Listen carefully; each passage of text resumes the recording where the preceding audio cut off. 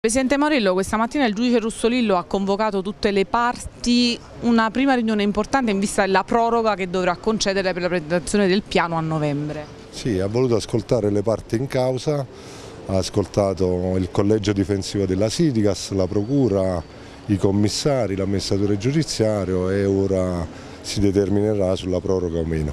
Che cosa emerge da questo incontro? No, un po' quello che è il lavoro che è stato fatto in questi mesi e il lavoro che si dovrà fare. Sensazioni vostre quali sono Presidente? No, io non mi esprimo mai su sensazioni, aspettiamo la risposta del collegio. C'è questa manifestazione di interesse la Italgas ci sarebbe per l'acquisizione dei parti e le reti della Sidigas, ce la conferma, ce la Devo smentisce? rivolgere a un'altra persona perché io non la conosco questa manifestazione. Non conosce l'esistenza, ma se ne è parlato durante la riunione oppure no? Ovviamente no. Non se ne è parlato? no. Senta, le abbiamo anche una battuta invece sulla squadra, se ci sono questi problemi societari invece la squadra sta dimostrando anche una capacità di isolarsi da tutto e di dare una grande prova e una grande risposta sul campo. Problemi io non li definisco problemi, c'è un momento di tensione della Sidigas che la sta affrontando.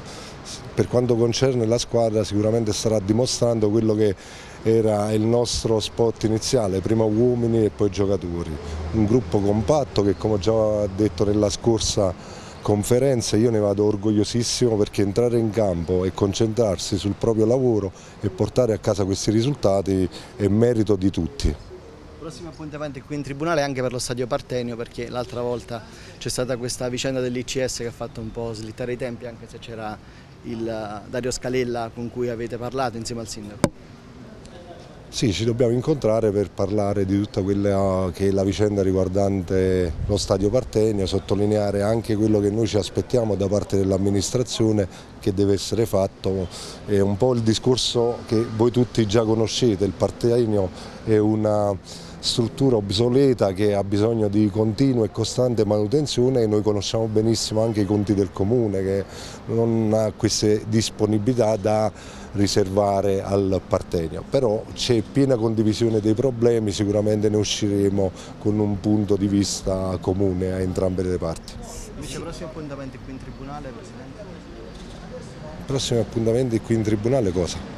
Se ci saranno aggiornamenti dopo questa giornata, le date quali...